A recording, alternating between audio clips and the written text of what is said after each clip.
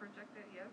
Um, our Father in the Lord, the regional overseer of Deeper Life Bible Church Central Region, in, in which includes states of Minnesota, Ohio, Wisconsin, and Michigan. He is um, he is responsible as a senior analyst at U.S. Bank. In the early years of his prof- professional career, he worked in many Nigerian news organizations. Um, he has been in different leadership positions.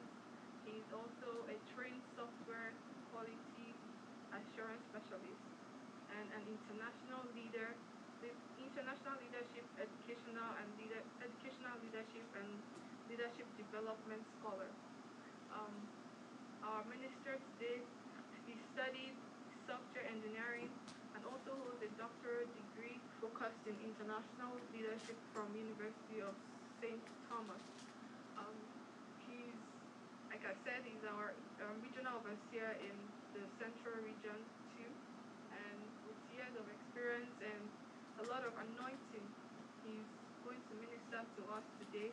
And it is with so much and so special excitement that I'm pleased to welcome our Father in the Lord, Pastor Dr.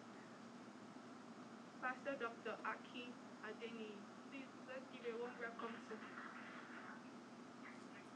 Is that how you clap for Jesus? Please let's clap. Praise the Lord. Praise the Lord, brethren. Hallelujah. Amen. You know, I maybe I should start with an apology because actually I know you are probably expecting me to come in th- tomorrow. Uh, however, somewhere along the way, uh, you know, when my twin brother speaks, sometimes I have to follow him. Praise the Lord. So, you know, in an attempt to just solidify what uh, Pastor Ike Okafor did in the morning, and Pastor Lakojo, you know, kind of, uh, you know, hitting the hammer on the head of the nail. And I said, well, maybe this would be a good time to uh, kind of fit in and do a little bit of work together so that we can all strengthen our faith together in Jesus' name. So I'm really grateful for the opportunity to be able to minister uh, this year's conference. Uh, I consider it a great privilege. Uh, more so, the opportunity to actually do it today because of so many other uh, engagements all over the place that, by the grace of God, uh, uh, we'll be able to honor as a result of your flexibility. I pray that God Almighty will specially and doubly bless you as a result of that in Jesus' name. I, I, I love your rendition of victory in Jesus. How you were able to sneak in, and I think that's your desire, and that desire will be granted in Jesus' name. Restoration in Jesus. And I think that's wonderful. I'm believing and trusting God that the Lord will grant all of us uh, restoration in every area that we are expecting it in Jesus' name. Let's have a word of prayer. I'm hoping that you can keep awake.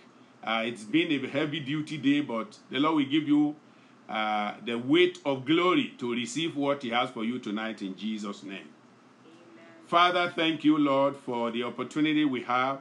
I'm especially grateful uh, to our brethren in New, uh, New England area for the opportunity to minister to them at the Young Adult Conference. We are grateful for what you have been doing and what you will do now. Father, we pray that you take this tongue of clay and minister to your people so that the blessing that is earmarked for this moment, no one will be missing in Jesus' name. I pray you give them attentive uh, ears and retentive memory and a soaking heart to get the best from this time in Jesus' name. Father, give us utterance and let there be clear pathway, both in the spirit and in the physical, for your people to receive the best of what you have right now. Thank you, Lord, for the answer. In Jesus' mighty name we pray. Amen. Praise the Lord. Now, the topic we are that is before us has been beaten and overbeaten so much that we really need the Holy Spirit to help us so that we can get something new, uh, something refreshing. Because when you talk about the subject of restoration, that's basically the business of God. That's the business God is in. All the way from the beginning till now, God has been the business of restoration. Restoring that which, has, which was falling, restoring men that are falling, restoring situations, restoring lives, restoring circumstances. That's basically what God does all the way from the beginning. And when you think about Jesus Christ, what did he come to do? He came to restore, to renew, and to bring us back to where God wants us to be. We are going to read a couple of passages. Uh, I try not to give too too much because uh, number one, uh, one of those things I'm concerned about is you'll be so glued uh, to the screen in an attempt to get everything that is uh, projected to you that you will not be able to pay attention. I want you to really pay attention. I want you to be attentive. I want you to put your mind in what we are saying. Not just about writing it down. You can actually do the writing later. I want you to really concentrate because it's been, it's been a long day. And so as a last message, sometimes uh, it may bring a little challenge. But I'm believing God that you will not be challenged, but you will be blessed. In Jesus' name. Let's read a couple of passages. And Luke 15 is one of those passages that I think uh, explains to us, even by the word of the Lord Jesus Christ, what restoration is about. Restoration is the work of mercy, is the work of grace that God does in the life of willing people, individuals who are willing. Our title, our message today is the what and the worth of restoration. That is basically giving us two aspects of the message. What is restoration? And then what is restoration worth? What is the profit of restoration? What do you get from restoration? And then between those two uh, points, I'm going to bring a Y, uh, which we tie the what and the worth together. a Y. You know, in communication studies, uh, they always tell, us uh, about the five W and the one H. Uh, 5W who, what, when, where, why, and how. So, I'm trying to use that model in a way, in a very simplistic way, that you will understand what we are talking about, and then it will bring great blessing to you. Let's read from Luke chapter 15. Luke chapter 15, it's a long passage, and I will endeavor to read it uh, because I may not be opportune to come back uh, to read it again. So, Luke 15, I'm reading from the 10th verse, verse 10 all the way to 24. Luke 15, Luke chapter 15. Uh, the whole of Luke chapter 15 is about the parable of the lost. And I have to say from the beginning that nothing can be restored if it is not lost. You know, and if there's restoration, it's talking about something you lost. It's something you had before. And now you are trying to get it back. And so, as we come to Luke 15, Jesus was talking about the parable. It was all about parable. The lost sheep. It talks about the lost coin. But now in verse 10, which is where we're going to be reading, um, at the end of verse 10, he says, Likewise I say unto, unto you, there is joy in the presence of the angels of God over one sinner that repenteth. There is joy. Restoration brings great joy, both to man and to God. So, when we talk about restoration, we are talking about something that is central to God, that is at the heart of godliness. Restoration, restoring us, bringing us back to the position where God wants us to be. Now, look at verse 11 now. Let's read from verse 11. We're going to read uh, the whole verses all the way from verse 11 to 24. Please follow me. And he said, A certain man had two sons, and the younger of them said to his father, Father, give me the portion of goods that falleth to me. And he divided unto them his living. And not many day, days after, the younger son gathered all together, took his journey to a far country, and there wasted his substance, his, his substance with riotous living. And when he had spent all, there arose a mighty famine in the land, and he began to be in want. And he went and joined himself to a citizen of that country, and he sent him into his fields to feed swine. And he would fain have filled his belly with the husks that the swine did eat, and no man gave unto him. Verse 17, and when he came to himself, this is the point where res- restoration is very interesting. First of all, we had a status, you know, concerning he was he was a son.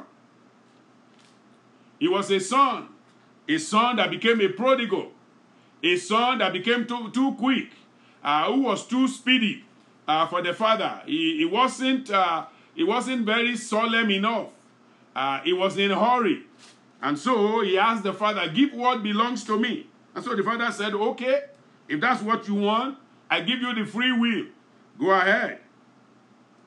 But then, having received all that the father gave, he went out and then he wasted everything. So that tells you restoration is as a result of, you know, a life of waste, a life of loss, a life of someone losing something very important, something very serious. And now they are crying like Cain. You know, they're now looking for a way to get it. They are crying like Esau. You know, they are looking for a way to get it back. So we are told he came to himself. This is the interesting point. This is the junction where the mercy of God meets the prayer of man. The mercy of God meets the prayer of man because man becomes despondent. Man recognizes his lost state. Man recognizes that he cannot move forward without God. And so here you see the story of this father and the son. Of course, as you look at this story, the Father represents God, the Son represents all of us. You know, all souls on earth, all souls who have been created by the merciful God. And so we see here, he came to himself and he said, How many hired servants of my father's have bread enough to, to spare, and I perish with hunger? I will arise. That's a very wonderful state to be. I will arise and go to my father, and will say unto him, Father, I have sinned against heaven and before thee, and am no more worthy to be called thy son. Make me as one of thy higher servants. Humility. Humility has come in. Ego is gone. You know, that initial, initial pride of, I belong to the Father. I can get anything. And I'm okay. I can take care of myself. I don't need the Father. When I get my whatever He gives to me, I can go and spend it anyhow. That initial ego, you know, self confidence has given way now to humility, has given way to self depreciation, has given way to a realization that the only way forward is coming to the Father. And so we can see here, he came back to the Father. He says, I will come to the Father. And so in verse 20, and he arose and he came to his father. But when he was yet a great way off, his father saw him. Glory to God. His father saw him, which tells you that for every lost soul, God is always willing to restore them. God is waiting patiently for the lost one to return. You can see here, for as long as the son was willing to come back, the father was willing to receive him. No wonder the Bible says, if ye be willing and obedient, Isaiah chapter 1 verse 18 if, and verse 19, he said, come now, let us reason together. You know, you see that if you reason with God and you are able to come to him, he says, if ye be willing and obedient until we are ready to reason with God, restoration cannot occur. Renewal cannot come in. And possession of those things that we have lost will not come to pass. And so we praise God tonight that God has brought you and I to a season of restoration. I thank God because I believe I'm talking to believers. Because you may think it's only sinners who can lose what has been given to them. No. Believers do lose the things that are given to them because when we become careless, uh, when we begin to not be watchful, when we become prayerless, when we become too overconfident and we are no longer as watchful and uh, desirous of the things of God as we ought to, and the world beclouds us, and the things of, of the world become so uh, elevated in our eyes than the things of God, we may lose the things of God, and the things of the world we be holding as if they are precious. But suddenly, we realize running away from God. We realize rejecting God. We realize not being in line with God is not the best. And that the best for us is for you and I, by the grace of God, to value that which God has given and to hold it and treasure it. And so I'm praying tonight, whatever you have lost, it will be restored to you in Jesus' name. Maybe you have uh, lost your first love, the love you have for God. Maybe you have lost your, uh, your first commitment, your first conviction, your first consecration, service unto God, your fervency in the Lord, your spirituality, and you are just so carnal now and secular. You know, I'm believing that tonight, as a result of this our fellowship together, the Lord will restore you to favor. The Lord will restore you to his blessing. The Lord will restore you to your possession. It will restore you to your status, your status with him, where you are standing with him in high places, where you are in a special place with him, that you can hear him. He can speak to you. Maybe you used to hear him before, used to talk to him very clearly before, but now he's so far away. You will be restored to that status in Jesus' name. And so we see here, you know, coming with humility. He says, Father, I have sinned against heaven and in thy sight, and I'm no more worthy to be called thy son.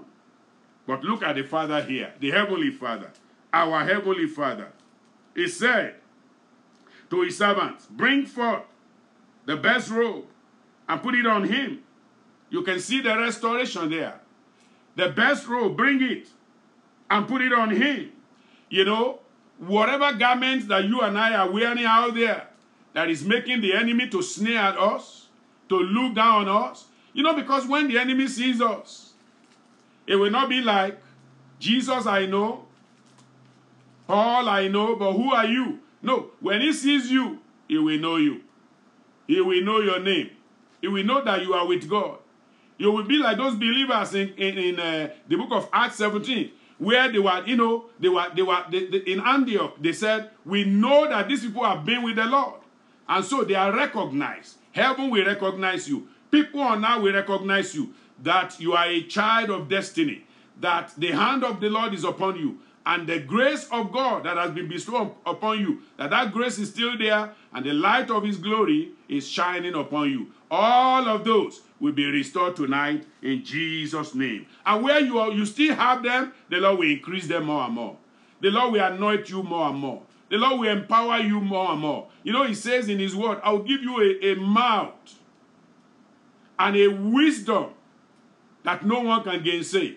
That is the joy that we have in the Lord. When we are in the right position, He gives us a mouth, we speak, and it comes to pass and he gives us a wisdom. We speak, and people are alarmed. People are, you know, they are just, you know, they are perplexed. They don't know where the answer is coming from. It's by the wisdom of God because that word, that wisdom, God gives at the right time. And that same wisdom, we go to the exam hall and you discover the answers are coming, and you're asking yourself, I don't even know where this answer is coming. When you are restored to favor, when mercy is restored, you discover that the grace of God comes in, everything becomes easy. So shall it be for you and I. In Jesus' name.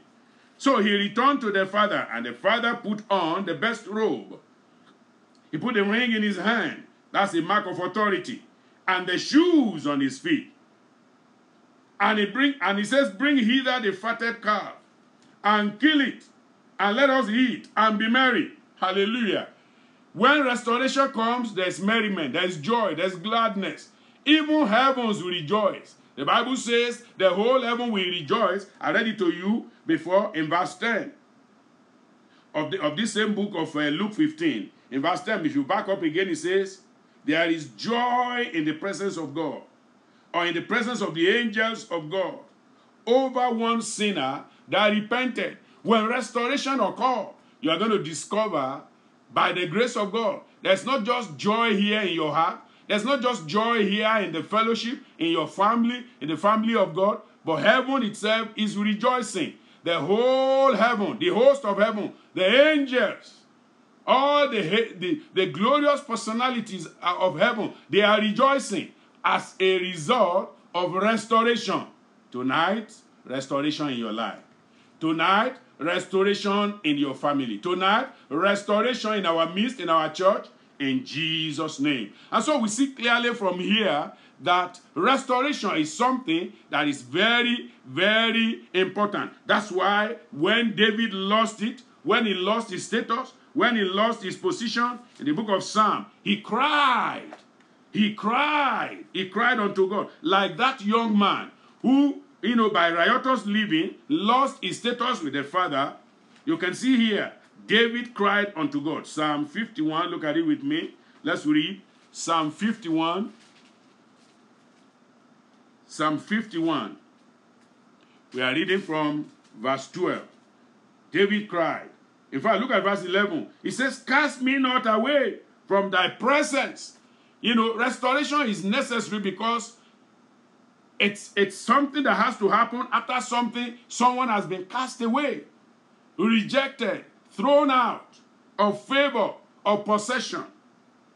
He says, Cast me not away from thy presence, and take not thy Holy Spirit from me. Restoration is needed so that the Spirit of God can be restored. So that we can have the, the, the image, the personality, the power that God has assigned to us even from the beginning. And so he says, Cast me not away. Take not thy Holy Spirit from me. And then in verse 12 he says, Restore unto me the joy of thy salvation. If you are a child of God and you are no longer joyful, something needs to be restored. There's something lacking. There's something missing. If you say you are born again, you are a child of God, you are a Christian, but there's no joy. You are not happy because our joy is not based on the physical, on the secular. Our joy is spiritual. That's, that's why it's not just about gladness. Joy is an internal thing. Joy. Being happy. Anybody can be happy. If you have money, you can be happy. If you have wealth, you can be happy, physical wealth.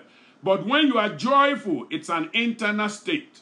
It's a state of mind, you know, that has heavenly consequence. So, David said here, Restore unto me the joy of thy salvation. I know I was saved, but I lost it now. I need it to restore. Restore unto me the joy of thy salvation and uphold me with thy free spirit.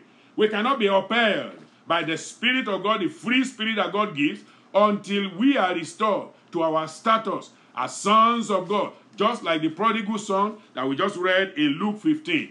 I pray tonight, as many as are prodigal in their, in their way of life, in their relationship with God, I pray tonight the Lord will restore us in Jesus' name. Because it is the promise of God. You know, even God himself said it in the book of Joel, which is one of the passages I believe you may have heard over and over and over throughout this conference.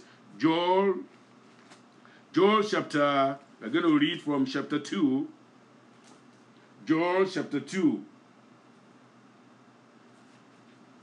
We are reading from verse 25. Joel chapter 2 in verse 25.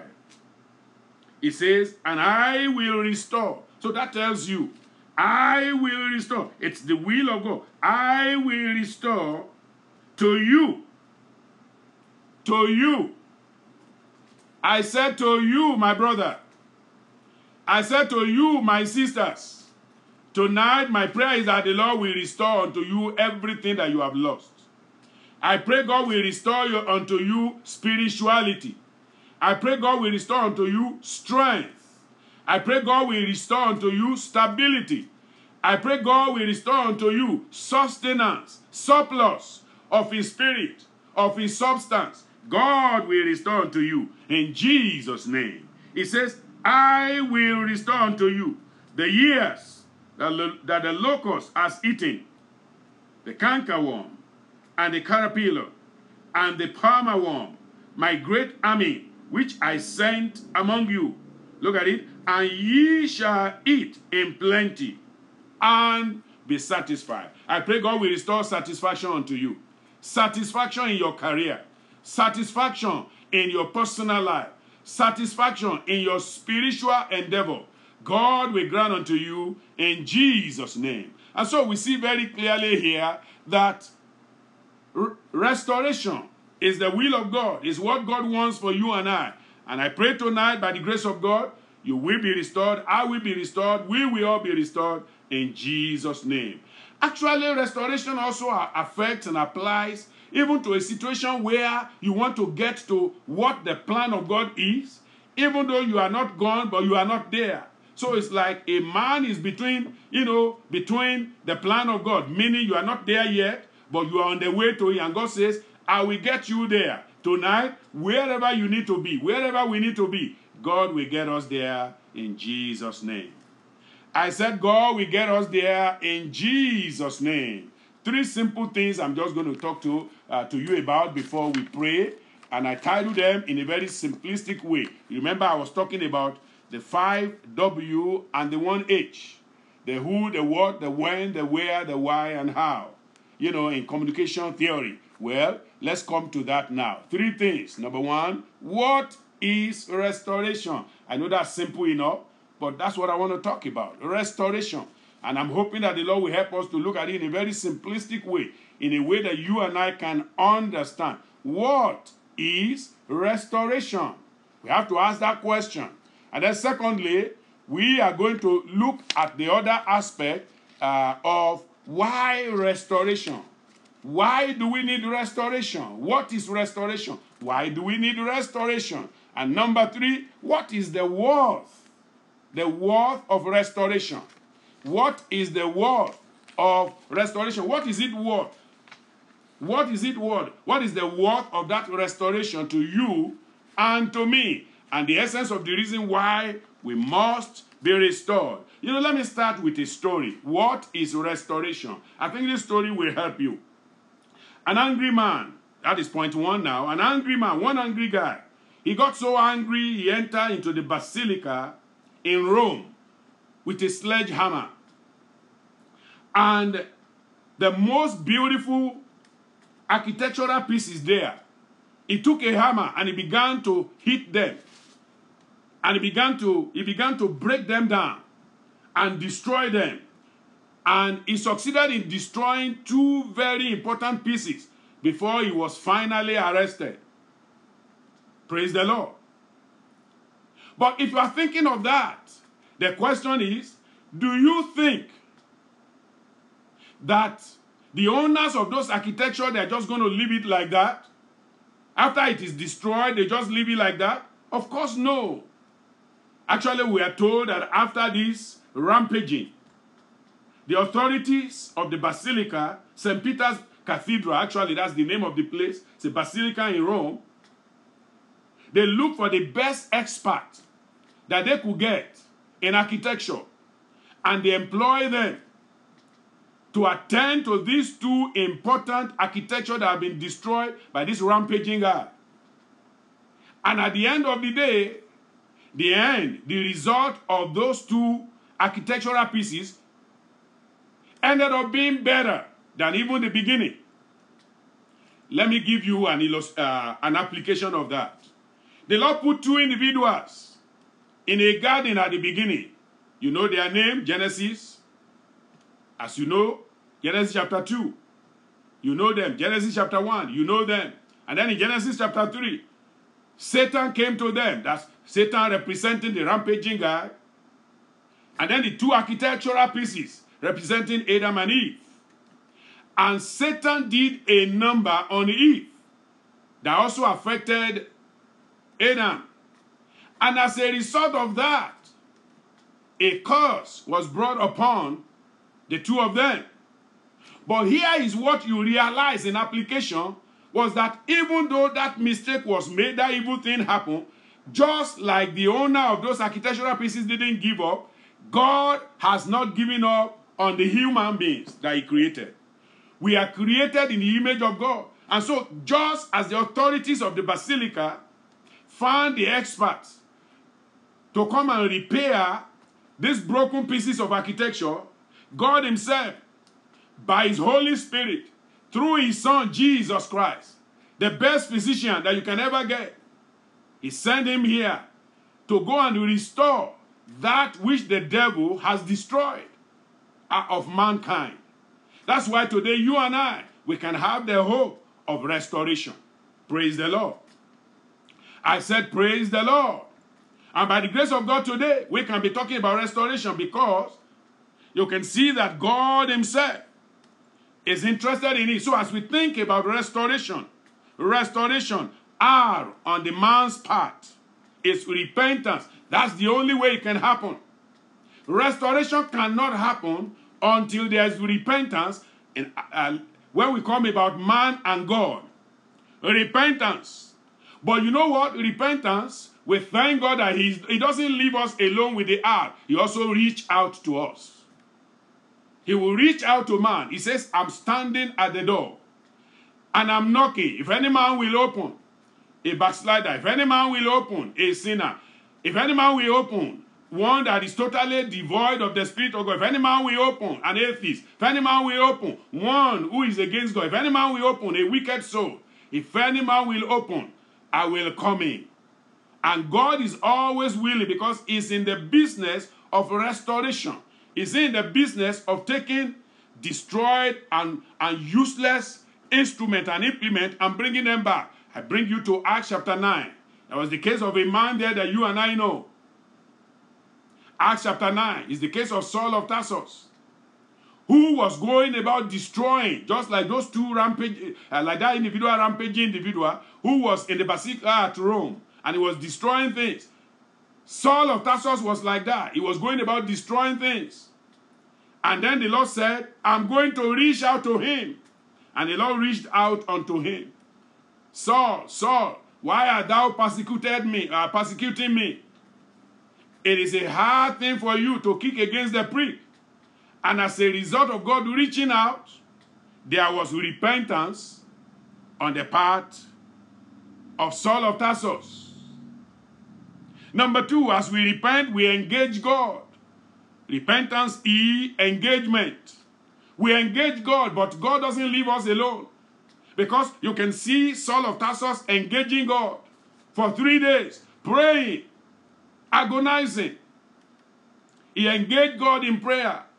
But in that engagement, I, pray, I praise God because He is the author of restoration. He encourages us. So, on man's side, we have repentance. On God's side, we, we see a reach out. On man's side, we see engagement. On God's side, we see encouragement. There is encouragement from heaven encouragement to prayer, encouragement to seek God. Seek me while I may be found. Call upon me while I'm still near. There is encouragement. The Spirit is bearing witness with you, is encouraging you. So, our repentance, that's how restoration, that's how restoration can happen. That's what restoration is about. Repentance, engagement with an encouragement from God. There is S, sincerity, sincerity of purpose. You are sincere. And in that sincerity, you get heaven's support. There is support from heaven. Heaven supports you. Heaven encourages you. You, you look at the prodigal. He came back home. The father didn't say, Go back. I don't want you anymore. He supported him. He encouraged him. That's what restoration, that's the process of restoration. T, there is truthfulness. You are truthful to yourself. You are very sincere to yourself. You are not just looking at, uh, you know, somebody to do it for you, but you are sincere. You can see in the prodigal, he said, I have sinned against God. I am not worthy to be called your son anymore. I have sinned. Saul of Tarsus had the same mindset. That's what brings restoration. There's repentance. As a result of God's reach out, there's engagement. Through his encouragement, there's sincerity. By his support, there's truthfulness as we tarry, as he helps us to tarry. We tarry before him. He tarries with us. He stays with us. He doesn't leave us alone. And then that opens our eyes. There's openness. Our eyes are open. We are open to correction. Now we understand where we have gone lo- got, got lost. And then we see God is, is in an orderly and orchestrated fashion. He is helping us to open up is digging into our heart, is giving us the opportunity to understand. And then A, R, resolution. We make a resolution. As we are open to correction, we make a resolution. We are rethinking our position. But you know how that is possible? The resources of heaven. God makes all those resources. Thinking right, thinking straight. God makes those resources available to us. And then A, we accept our guilt. That's where resolution comes in. Restoration comes in. We accept our guilt. We abandon the past. We accept the present pardon. A present, you know, situation that God has given unto us. And God helps us to accomplish it. He gives us accomplishment. Then T, we trust in God. That's the man's part. We trust in God. And God says, the time has come. God provides the right timing. Because there's time for everything. And God says, for the prodigal, there was time. In the beginning, the time was not right for him. He couldn't turn himself back, but God says, the time is right. Now it is time for you to trust God. Because God is for you and you are waiting for him and you want to obey him. Next now is the involvement. You get involved. Involvement. You are intentional. You are willing to do as the give as the counsel that God is giving. You are willing. That's what restoration is about. There is involvement. There is intentional. Intentionality. You are intentional about it. You say, I'm going to do. I will go unto my father. I will turn back. This is what makes restoration possible. You are intentional. And then the Spirit of God inspires you. That's the God part. He inspires you. Then there is obedience. You obey it. That gentle spirit whispering to you, you obey that spirit. And God opens the door of opportunity. God opens the door. You've opened the door for God. Now God opens the door again. He opens the door for you. As you are obedient, He opens the door now unto you. And then your spirit is renewed a new spirit is given. That's the conclusion of the restoration. And God begins to nurture you. And the nature of God is granted unto you. Praise the Lord. And so we see very clearly what is restoration. It is repentance. Repent ye therefore. I will go to my father. What is restoration? E, engagement. Father, I am not worthy to be called your son. Forgive me. Forgive me. And then the Father is able to forgive. There's sincerity of purpose. I have sinned against God. You knew that what you did was wrong. And so you are willing to turn back to God. That is what restoration is about. You are willing to be restored. You repent. You engage God. You talk to God with sincerity of purpose. You are truthful in your assessment of the situation. You are not blaming anyone. You're not saying, God, why don't you stop me? Why don't you, you know, just like that passage of scripture, say, God, why did you deceive me? You know, you deceived yourself because God didn't deceive you. Your heart deceived you. A man gets lost as a result of the lust of the heart, the pride of life that he has. And so, when he's truthful to himself, he will not cover up, he will not pamper himself unto ignorance. And then he is open to the correction of the word of God. And that correction, through that correction, you are pleading for mercy. And then you resolve, you rethink in your heart your position, and you submit to the mercy and the grace of God.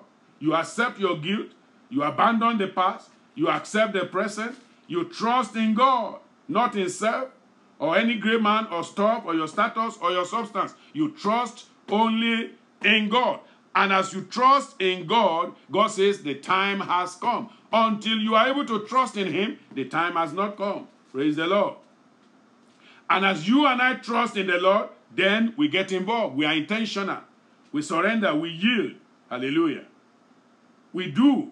You know, we are willing to do as counseled by God and by His, by His Spirit. And then you are obedient in righteousness.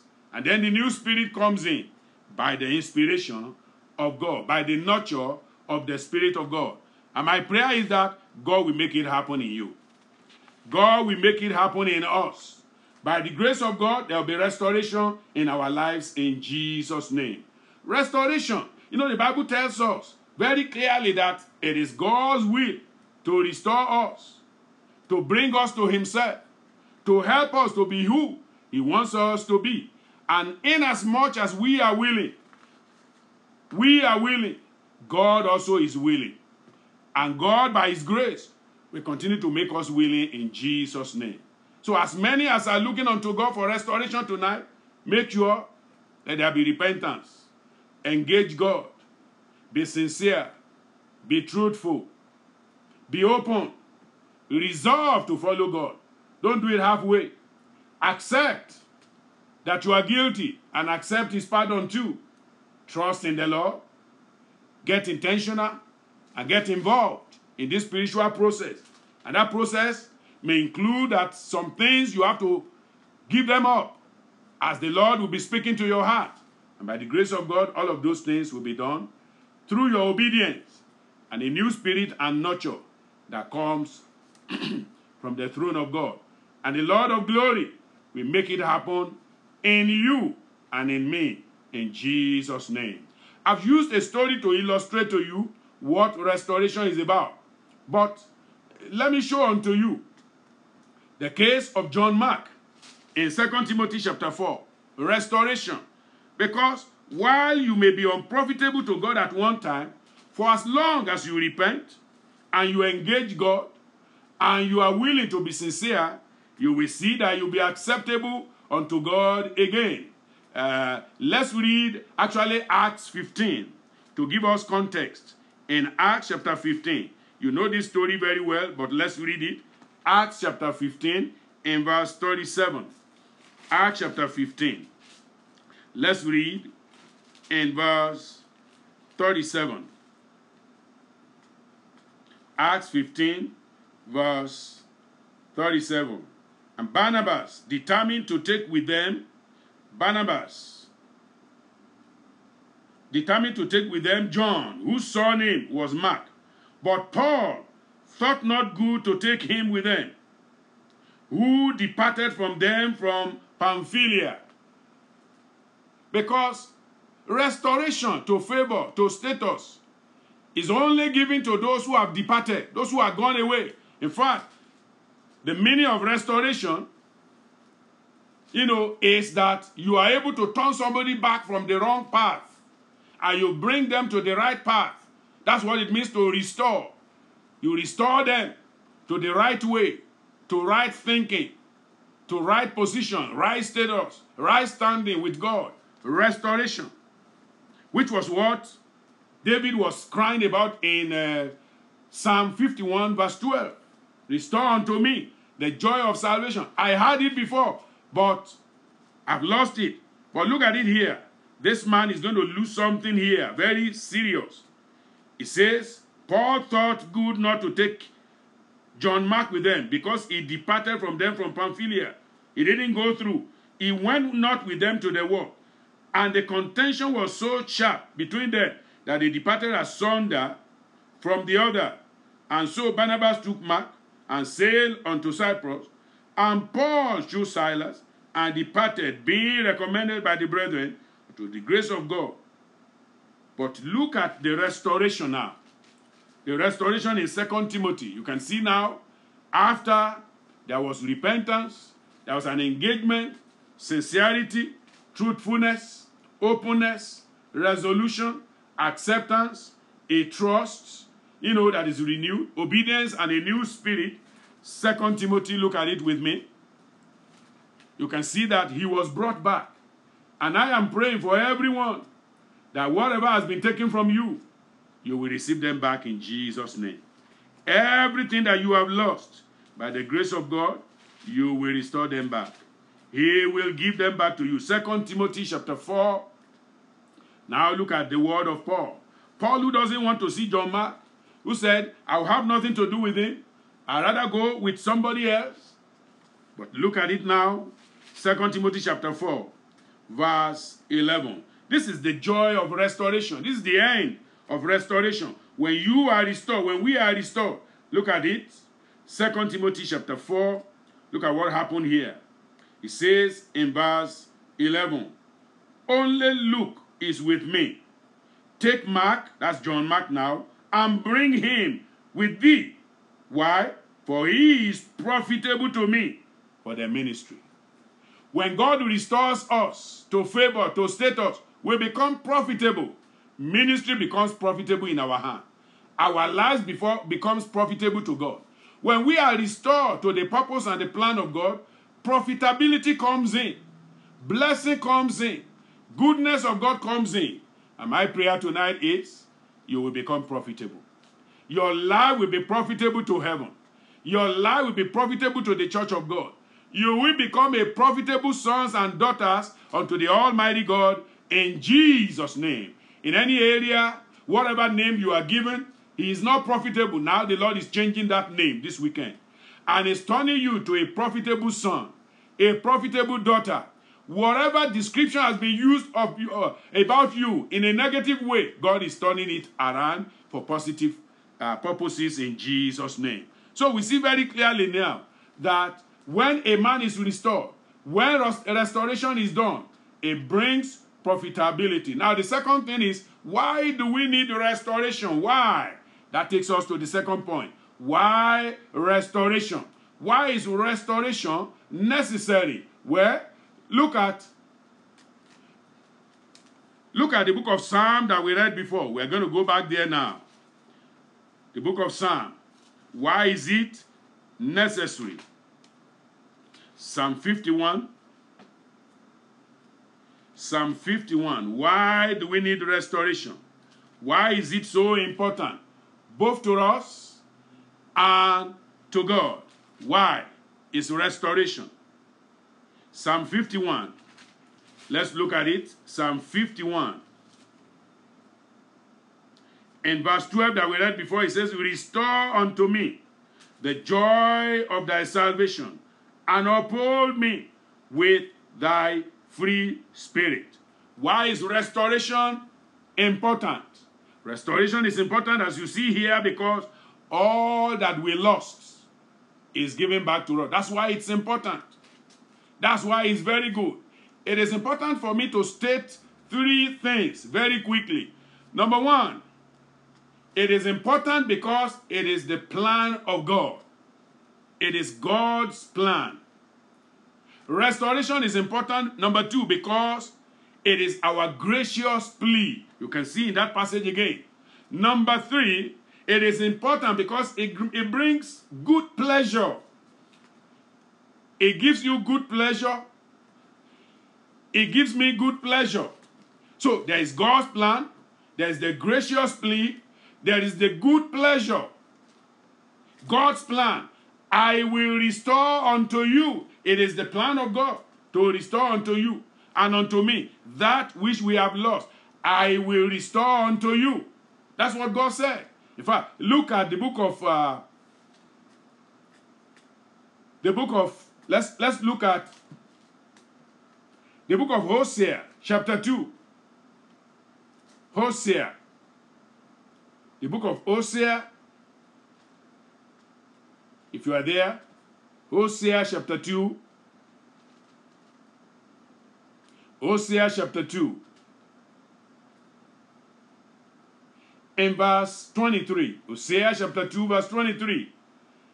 And I will sow her unto me in the heart, and I will have mercy upon her that has not obtained mercy you see that? It is the plan of God to restore you and I to his mercy, to his favor.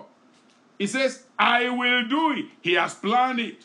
If you look at God's doing from beginning, in the book of Genesis, after the fall, immediately God had a plan.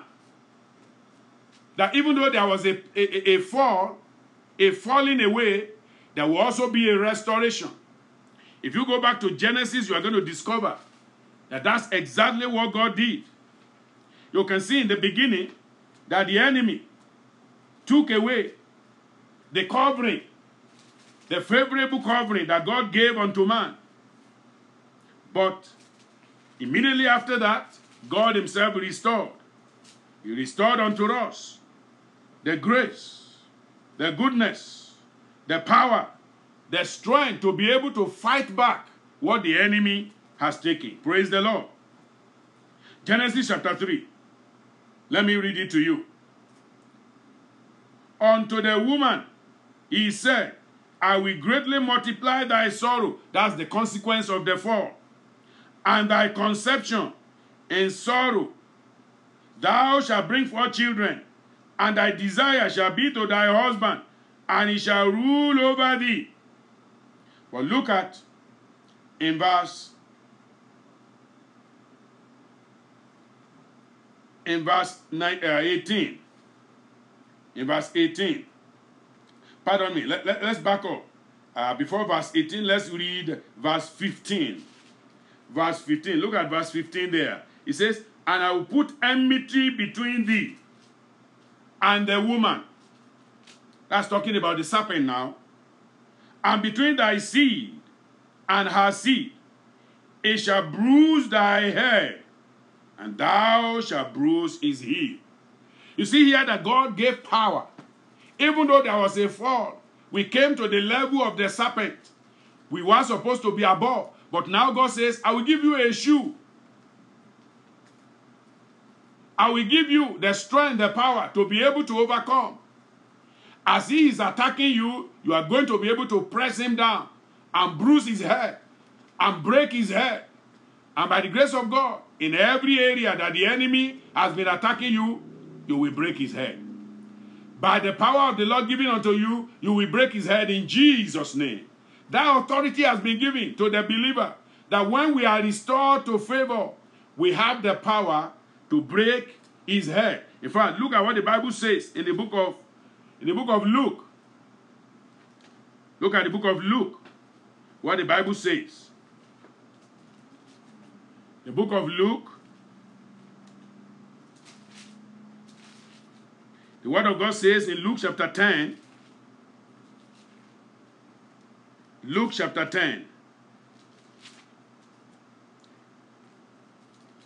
In Luke chapter 10, look at what the Word of God says.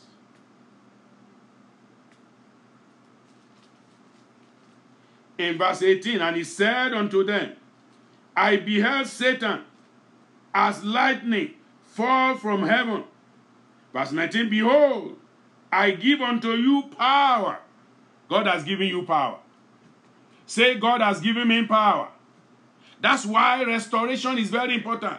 Restoration restores you and gives you the power. The power of God is given unto you back. So that where we are falling below the level of the serpent, now we are, we are raised up to the level of a saint, to the position of a saint. And the Lord gives us the power. And that power, what do you use the power for? He said, Behold, I give unto you power to tread on serpents. You see that? Because our enemy from the beginning was the serpent. But now God gives you through restoration. Why is it necessary to be restored? God gives you power. It's the plan of God. He gives you power. I said, God gives you power. And the power will work for you. It will work in you. Will work through you in Jesus' name.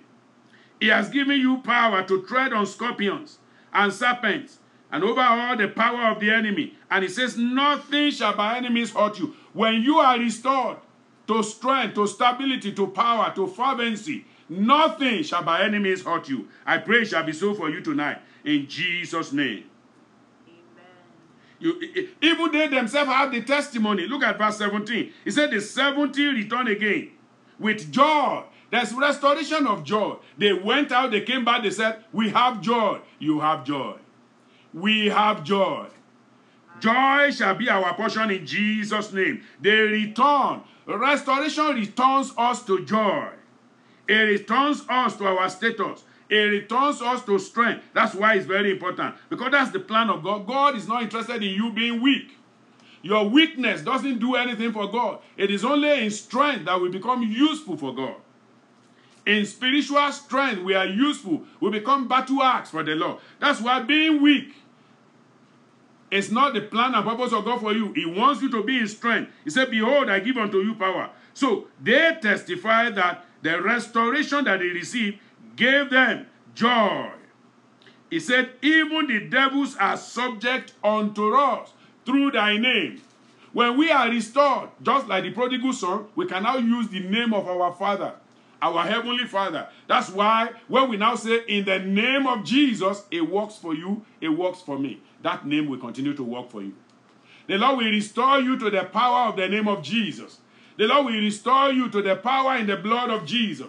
The Lord will restore all of us to the strength with which Jesus was able to conquer Satan and the grave and death.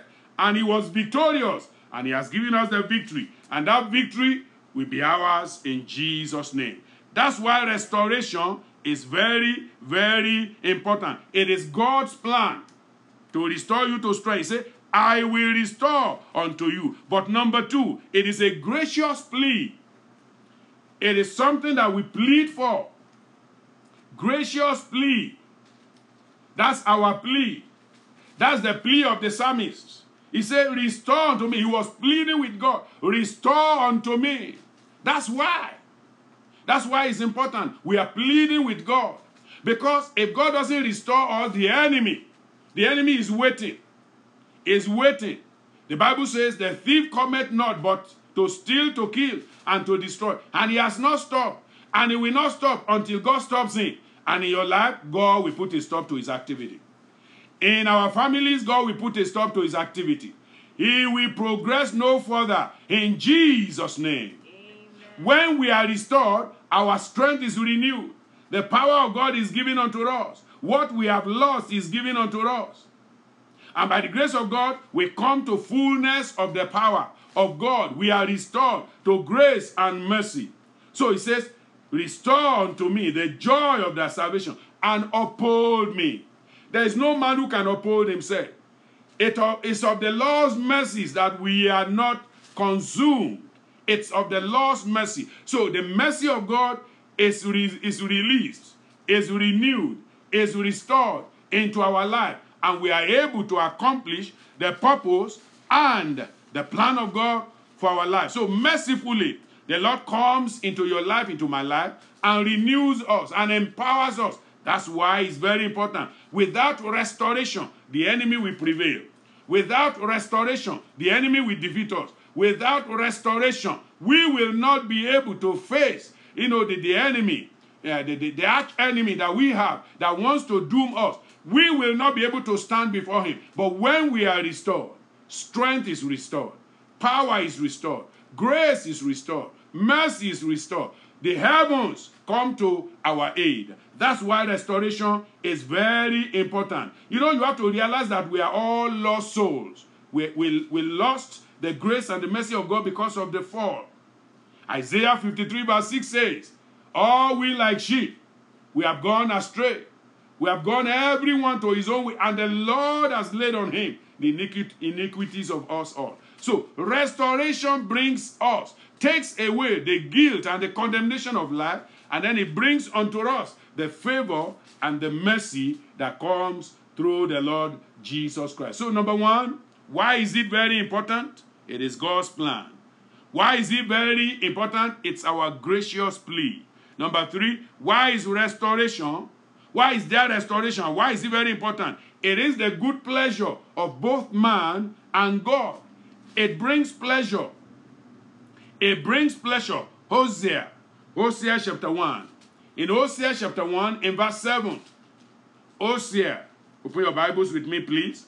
Hosea chapter 1, verse 7, he says, But I will have mercy upon the house of Judah, and I will save them by the Lord their God. And I will not save them by bow, nor by sword, nor by battle, by horses, nor by horsemen. God says, I won't do it by any of those things. I will do it myself. Then said God, For ye are my people. That's in verse 9 now. He says, Ye are my, he said, Call his name Loammi. For ye are not my people, and I will not be your God. But look at verse 10. Yet the number of the children of Israel shall be as the sand of the sea, which cannot be measured or numbered. And it shall come to pass, hallelujah, it shall come to pass in the place where it was said unto them, Ye are not my people. You remember? It was in verse 9, it says, You are not my people, I've rejected you. But when there is restoration, the Bible says, Now you are my people. I am bringing you He said, There it shall be said unto them, Ye are the sons of the living God. Hallelujah. Ye are the sons of the living God.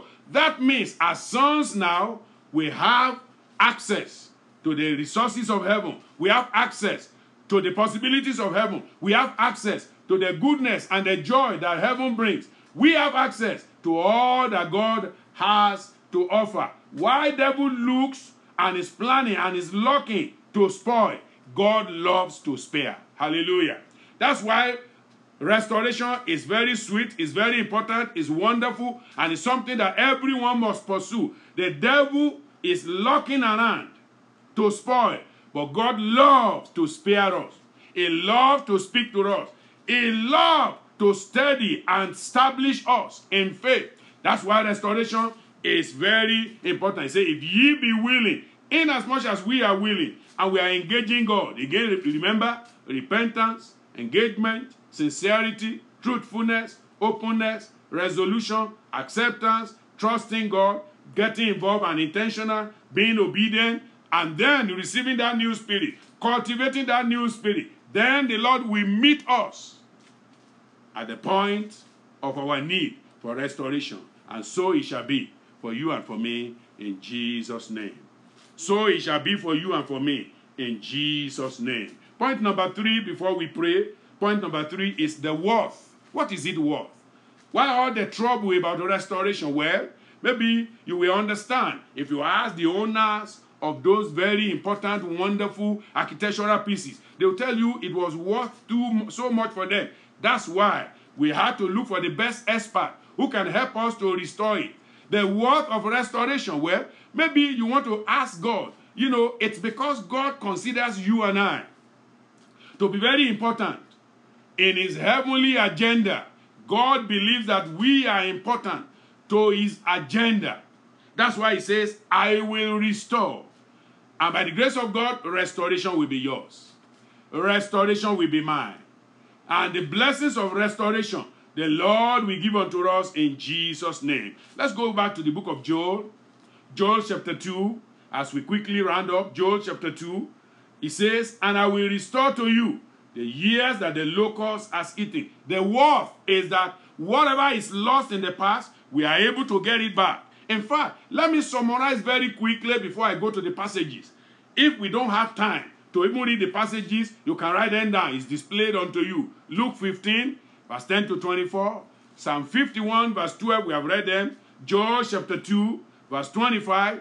We're going to read that even all the way to verse 32. You can write that down. Isaiah 57, verse 18 and verse 8. You can write all of those down.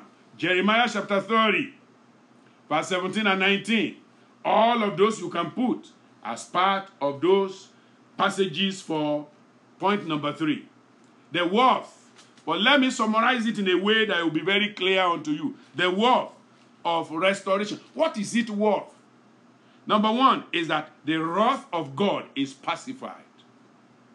The wrath of God is pacified. That's more important. Hallelujah.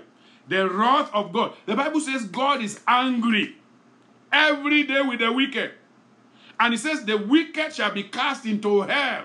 And every nation that forget God. What is restoration? What is it worth? What is the profit of restoration? What does it bring? The wrath of God is pacified. His anger is taken away. You know, the Bible says our God is a consuming fire. That fire is quenched. That fire is tempered. That fire is removed. That fire is taken out of the way for everyone who is restored. Hellfire is no longer your destination. That's why it's so important. That's why restoration is very important. Number two, the way of godliness is brought back. the pathway of godliness is brought back. We have lost that way before because of sinfulness. Number one, God got angry because we became sinful. But now, the way of godliness is open unto us because we repent. Remember, repentance, engagement, sincerity, truthfulness, openness, resolution, acceptance, trust in God, involvement, intentionality, obedience, and new spirit. As a result of that, we are restored to the way of godliness. We are brought back. That's number two.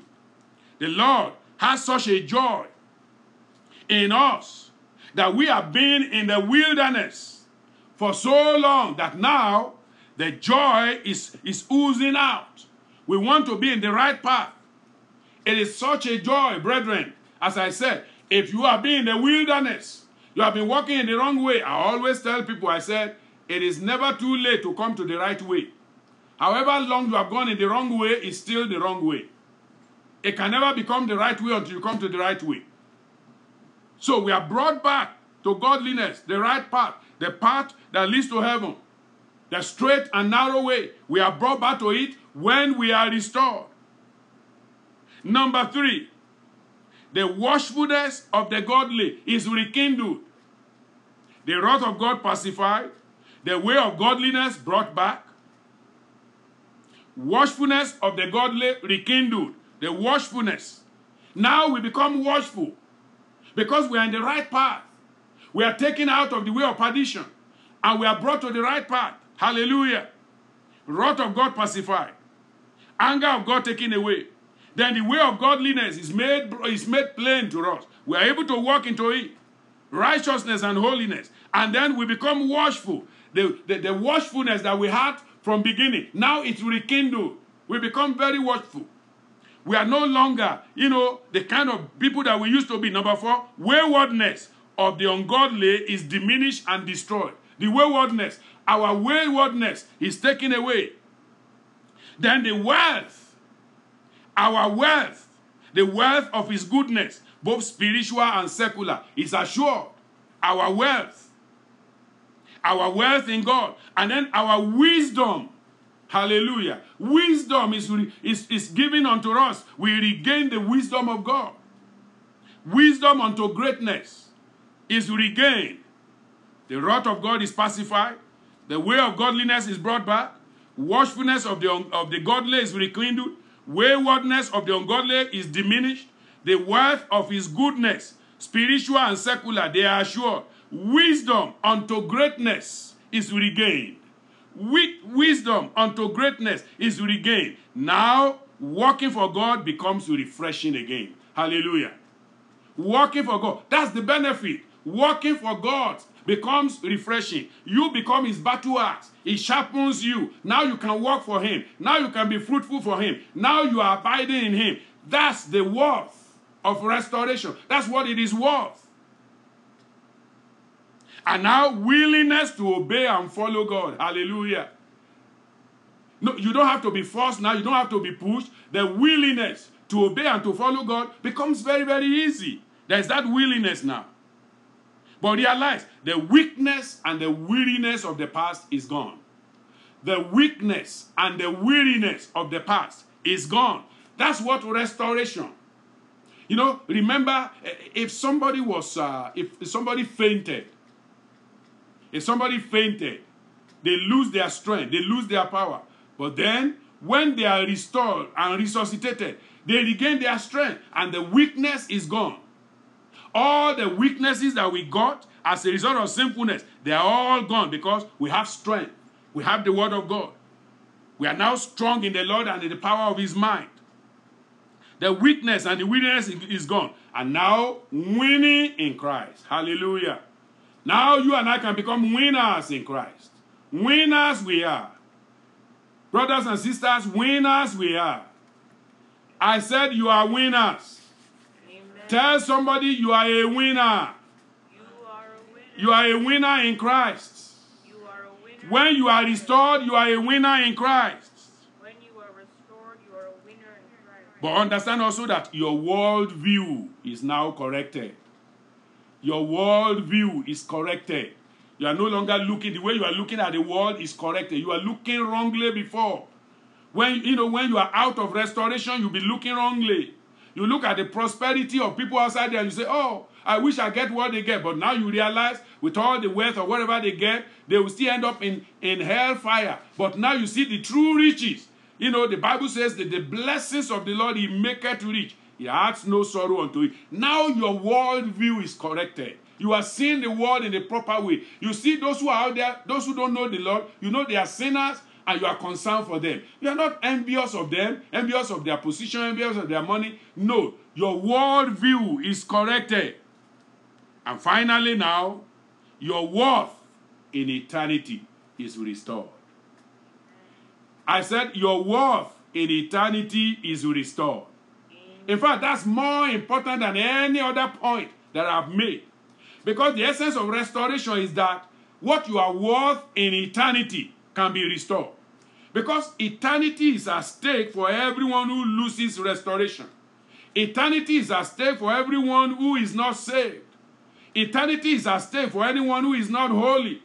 But when we are restored, when we are restored to salvation, when we are restored to righteousness, our worth in eternity is restored. And my prayer tonight is your worth in eternity will be restored in Jesus' name.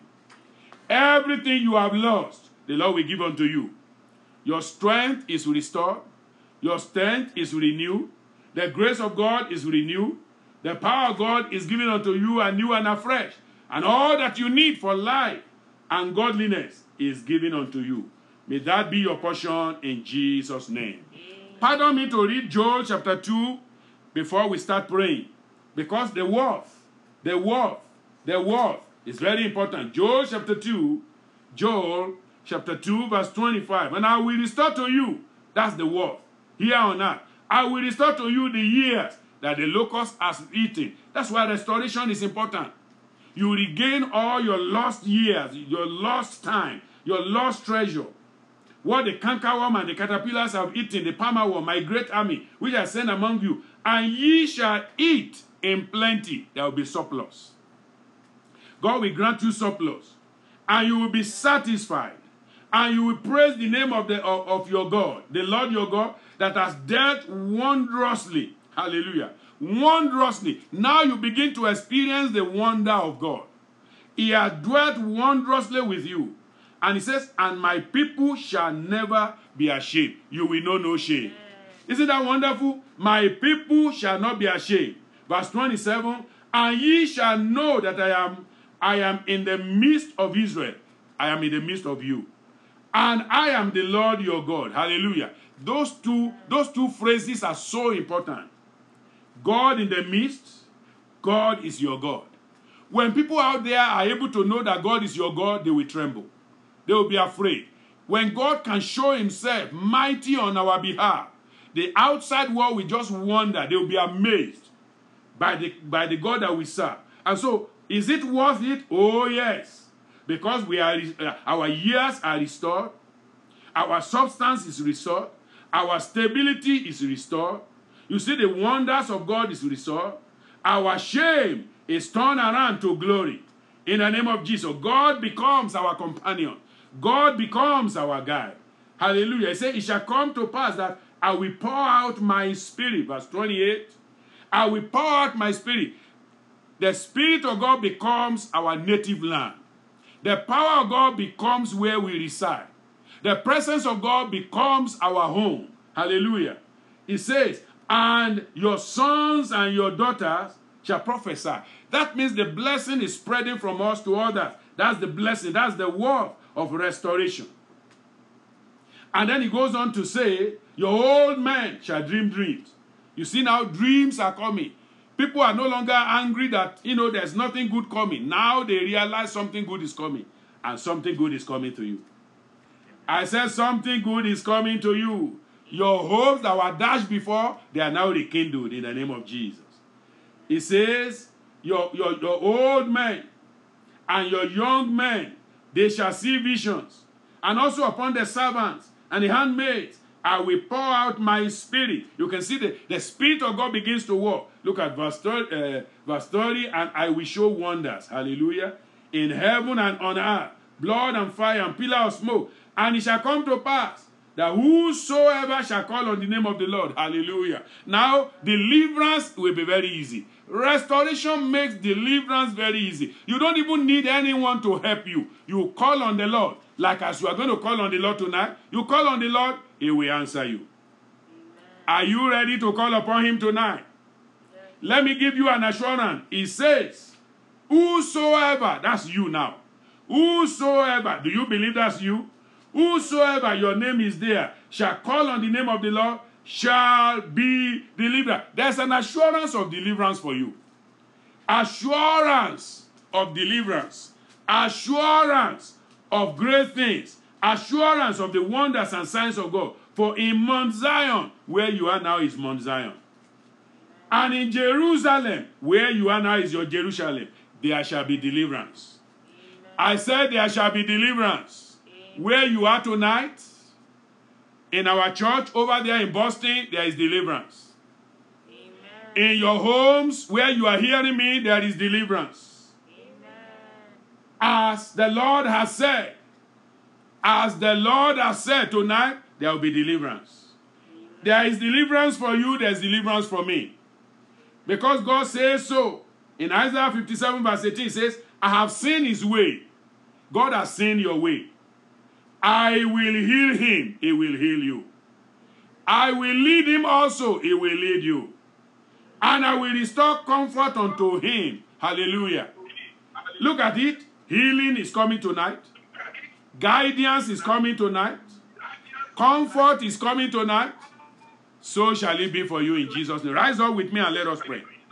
Rise up with me and, and let us pray. Rise up with me, rise up with me wherever you are. You are at home, wherever you are. Rise up, rise up, rise up. We are going to begin to bless the Lord tonight. Thank God for restoration. Thank God for repentance. If there's anything you need to repent of, this is the time for you to do so. Do you need to repent of anything? Open your mouth. Open your mouth. If there's any reservation anywhere, open your mouth and say, Father, Father, I repent of it. Ha. Remember that prodigal? He said, I will go to my father. If you have been running away from God, now tonight come to the Father. Come to the Father tonight. Come to the Savior tonight. Come before Him. Come to His presence. Come and enjoy His presence. Come and enjoy His miracle. Come and enjoy His forgiveness. Come and enjoy fruitfulness. Come and enjoy everything. Hallelujah. Thank you, Lord. Thank you, Lord. Thank you, Lord. Blessed be thy holy name. We worship you tonight. Father, we come before you. Father, we magnify you. Father, we glorify you. Thank you tonight. Thank you for your word. Thank you for your word. Thank you for the grace to repent. Thank you for grace to engage with you. Thank God for sincerity of purpose. Thank God for truthfulness in our heart. Thank you for making us being open. Father, we are open to your blessing tonight. We are open to your anointing tonight. We are open to your goodness tonight. Our lives are ready. Our lives are ready. Blessed be thy holy name. Open your mouth and say, Father, I am open tonight. In every area, every area that is closed, and uh, it looks like there's no way, Father, let there be openness tonight. Let the door be open tonight. Let the favor of God be released tonight. In the mighty name of Jesus. Open your mouth and pray. Open your mouth and pray and say, Lord, I accept any area I've gone wrong. I accept. I'm abandoning the past. I'm accepting your pardon. I am trusting in you that you are going to do wonders. I am trusting in you, O Lord Father. I am going to be obedient to your word henceforth. Father, Lord, I receive a new spirit. Father, I receive nurture from the, from the throne of grace, even tonight in the name of Jesus. Father, Lord, all the broken pieces, all the broken area, Lord, we are asking for restoration now. Restoration now. Restoration now. Restoration now. In the name of Jesus. Let there be no delay anymore. No delay anymore. No delay anymore. Let's tell the Lord, Father, restoration now. Restoration now. In the name of Jesus. We want to thank God for what Christ has done. We want to pray that God Almighty, oh Lord Father, that which Christ has done, let it be made manifest in my life. Let it be made manifest in your life. Let it be made manifest in our life. In the name of Jesus. Manifestation of the restoration power. Manifestation of the goodness of God. Manifestation of the favor of God. Of the power of God. Of the goodness of God. In every area of our life. Tonight, let there be restoration. restoration unto faith, restoration unto faithfulness, restoration unto fruitfulness. Wherever there has been barrenness, Lord, we declare tonight fruitfulness, fruitfulness, fullness of your power, fullness of your glory. Be, oh Lord Father, be manifested now. Be manifested now. Open your mouth, open your mouth, open your mouth and tell God, Father, all that I've lost tonight, I regain them back. I regain them back. I regain them back. I receive them back in the name of Jesus. Everything that has been lost, all that I have lost, I receive them back. I receive them back in the name of Jesus. Lord, I give you praise. Lord, I give you praise. Lord, I give you praise. I receive them back.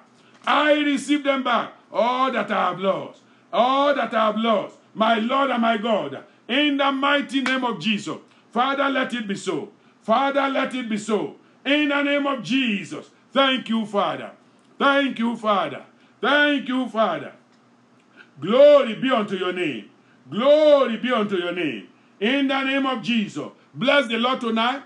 Invite the spirit of newness. Invite the spirit of restoration to rest upon you now. Restoration spirit. If there's any repentance to do, please do it. Please do it. Don't stop. Don't stop. I'm still hearing in my spirit that there are people need to do repentance. Repentance. Repentance. Repentance. Hallelujah. The, the, the psalmist said, I repent in dust and ashes. He said, Lord, I repent. I repent. I repent. I repent. Let there be repentance now. Repentance now. Don't hide under anything. God can see everything. God knows everything. Repentance. I am hearing a lot of repentance that needs to be done. Wherever you have given up, God say repent. It may not just be sin. It may not be sin. There are some ideas that you have in your heart. And those ideas will not work. Those ideas will not prosper. Those ideas will not move you forward. You are imbibing the worldly spirit. You are imbibing the worldly way of doing things. God says to repent. God says I should tell you to repent. Repent tonight. Repent tonight. And let the way be made open for the stream of heaven to flow into your life. I don't want that stream of heaven to be hindered. So let there be repentance. Tell God I repent in dust and ashes of every area I've gone astray. You know, maybe in word, whatever you have said, whatever thoughts you have that are contrary to the way of God, maybe there are things. Hallelujah. Thank you, Jesus. Thank you, Jesus. Thank you, Jesus. Thank you, Jesus. In Jesus' name we pray. Amen. Young people, I'm hearing very clearly in the spirit tonight that there are some of you that God actually gave assignments and He directed your way, but you seem to have deviated. God says, repent. God says, I gave you an assignment.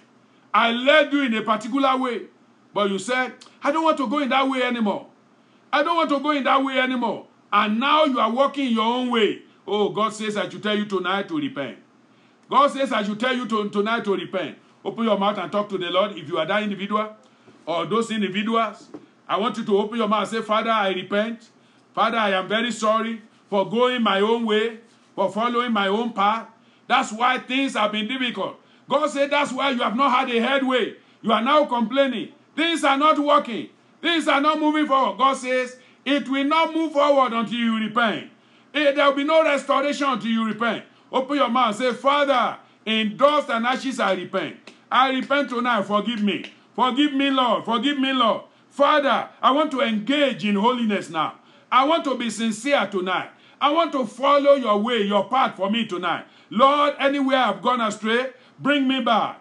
Bring me back. Bring me back. Open your mouth, open your mouth, open your mouth. In every area, in every area that you have lost it, God Almighty says tonight, as you repent, as you repent, as you repent, the blessing will be restored. The blessing will be restored. In the mighty name of Jesus. Thank you, Father. Thank you, Father. Glory be unto your name. Glory be unto your name. In Jesus' name we pray. Amen. You know, you are expecting something this week, something, a, a very important news. You've been expecting it. But God says that repentance will open the door for it to come. That repentance is going to open. He said, I can work on those who need to release that blessing. but I need you to be in the right spirit. I need you to be on the right status. I need you to be restored to my favor and mercy. Then you are able to see me work for you. If you are that individual tonight, we are going to pray for you that God Almighty will attune you to His word. God will attune you to His way. God will attune you to His will. That tonight you'll be able to come back to the way of righteousness so that that which you are expecting God to do, it can be done in Jesus' name. Open your mouth and pray as I pray along with you. Because you know, with mouth confession is made. With your mouth confession is made. Almighty God, in the name of Jesus, I bless you and glorify you, O Lord Father. For my brothers and sisters tonight, I thank you, I praise you because of the individuals, O Lord Father, who are online tonight, hearing me, O Lord, in this conference. Father, I pray and ask those who have lost their way, those who have gone astray, those who are doing their own thing, and that's not what you want them to do. Yes, it looks like they are just going that way and it looks okay for them. But you say, That's not my way. That's not my way. They are not going to last on that way. Father, I'm asking that the way of righteousness be open unto them. The blessing, oh Lord, Father, of guidance of heaven be granted unto them tonight. In the mighty name of Jesus. Father, Lord, I pray in your mercy, correct them. In your love, correct them. Bring them back to the right path. In the name of Jesus. Thank you, Father. In Jesus' name we pray. Somebody is so frustrated by, by a situation that you are going through now that you are almost giving up. God wants me to tell you no frustration in your life.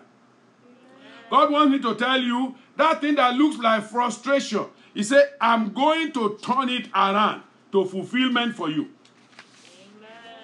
I said, God wants me to tell you it will become fulfillment in your life in Jesus' name.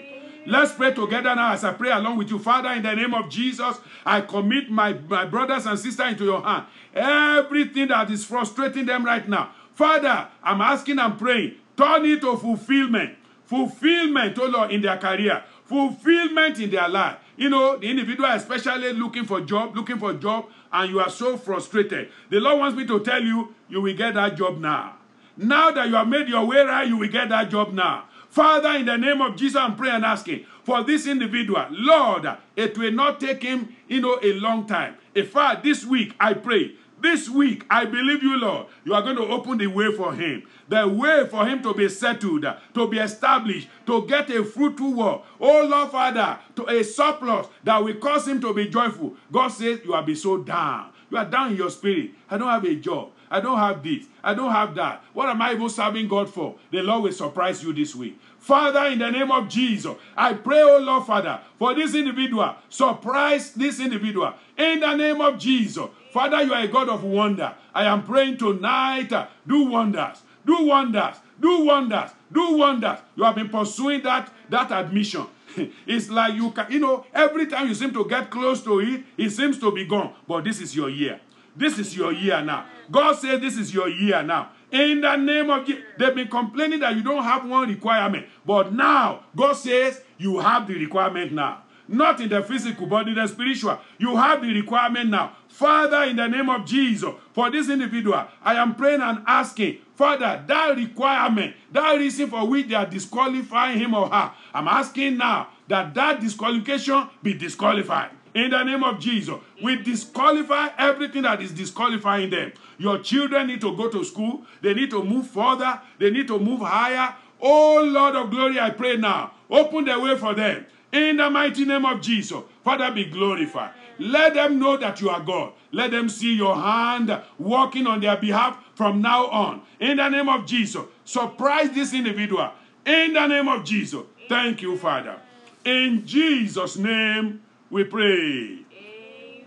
You know, you are already telling God, I don't think I can be accepted. You know, it's like everybody is rejecting me. Everybody is rejecting me. Everybody is rejecting me. Well, I bring rejoicing to you tonight. I said I bring rejoicing to you tonight because where you have been rejected, you will be rejoicing now. God says that thing for which you are rejected will be bringing rejoicing to you now. God says there's going to be restoration of your joy in that area in Jesus' name. Father, in the name of Jesus, I pray for this individual tonight. I'm asking and praying for my brothers and sisters, those who have been rejected in one area or the other in their career. Oh Lord, even particularly now, Lord, particularly right now, the individual who needs to get married and there be a, a stream of rejection. But now that rejection stop now in the name of Jesus. Father Lord, where he has been rejected, she has been rejected, acceptance begins now. In the name of Jesus, favor begins now. Mercy of God begins now. As a result of this restoration conference, Father, restore all that they have lost unto them. In Jesus' name. Even this individual who have lost something concerning her business, his business, I'm asking Lord tonight, uh, let there be restoration. In the mighty name of Jesus, restore unto them all that they have lost in a hundredfold. Father, I pray, surprise everyone who is hearing me now in Jesus' name. You know, where the doctors have said, we have no more answers, there is answer in heaven. Heaven is never short of answer. Holy Spirit divine, surprising answer, divine answer from the throne of God. Grant it unto them in Jesus' name. Father, we bless you and we glorify you. Lord, I'm asking now for everyone, for everyone, for everyone, for everyone online now, for everyone hearing me now. I'm asking in the name of Jesus that what the enemy meant for death, Father, let there be life. Let there be love. Let there be living. Let there be a lifting up. Let them become limitless. In the name of Jesus. What the enemy meant for evil, Holy Spirit divine, I pray that it will turn to an engagement. It will turn to an encouragement. In the mighty name of Jesus. Where the enemy meant to demote them, to bring them down, but let it cause discipline in their life. Let it bring dedication to God. In the name of Jesus, let it develop them. Let it bring them to a durable pathway. Oh God, endurance in the race of life. Grant it unto them in Jesus' name. What the enemy meant for wastage, to waste their life, waste their resources, Father, I thank you for wisdom that is overwhelming them. I thank you for making them winners now. I thank you, O Lord, for the new wine and the worthiness that is coming into their life. In Jesus' name. Lord, I pray where the enemy is warning against them now. Hallelujah. As they wait on the Lord, Father, wars, every war will turn to wonder. The wonders of God will be, will be untold, and the workings of heaven will begin to be manifested now in their life. In Jesus' name. Father, those who are feeling condemned, judged, oh Lord, Father, in their spirit, I'm asking, Lord, that heaven will bring justification, justification, and joy in the Holy Ghost. Grant unto them tonight. In Jesus' name. Every form of abuse by the enemy, abasement by the enemy. Lord, I'm asking, you will turn those to become doorways, access for your people to acceptance in Jesus' name. Let there be spiritual accomplishment. Let there be heaven's applause. I'm asking and praying, earthly enrichment and endowment. Father, you will give unto them in Jesus' name. Amen. No more anger. No more accusations. No more annoyance. No more anxiety. Father, I pray, let the joy of the Lord be their strength in Jesus' name. Lord, I'm praying right now for every individual, every voice, every ear hearing me now, whatever the desires may be in their heart concerning this restoration conference. Father, I pray, begin to do the restoration work now. Restoration in their spirit, restoration in their self, oh Lord, in their career, restoration in their soul, restoration in their family, Restor- all round restoration, Father. Grant unto them in Jesus' name. Let the fire of God be restored. Let the fiery spirit be restored. Let their spirituality be restored. Let their substance, oh Lord, and safety and security in Christ be restored in Jesus' name. Bible said the Lord is a sun and is a shield. The Lord will give grace and glory. Nothing good will he withhold from them that walk uprightly. Almighty and everlasting Father, I'm asking and praying in the mighty name of Jesus that Father, everything that will beautify their life, grant unto them now in Jesus' name. Thank you, Almighty Father. We bless you and we glorify you. I pray that everyone who has been part of this conference will have a testimony. Everyone will testify to your glory in Jesus' name. We bless you and we glorify you. Father, tonight we pray everyone who is weak, they will be strong. Those who are sick, they are healed. Those who are down, they are lifted up. Those who are wobbling, they are established. Father, I pray that those who have missed the way, now they are restored to the old righteous path again in Jesus' name. Father, confirm all of this and much more in the life of every participant and everyone that will hear this message, even later on in Jesus' name. Father, we give you glory and we give you honor. Blessed be thy holy name. Father, we thank you for our father, father in uh, Boston there. We pray for him and his family. Pray that your grace continue to flow ceaselessly in the family, in the ministry, in Jesus' name. Amen. We thank you and we bless you, Heavenly Father. You. For in Jesus' mighty name we have prayed. Amen. You got it? I said you got the blessing. I have the blessing. I'm going to hear your testimony. Amen. I said you will call me and give me the testimony. Say, Pastor, I will call you. I will call I believe the Lord has done it. The miracle has started. I will testify to the goodness of God. So shall it be in Jesus' name. God bless you all.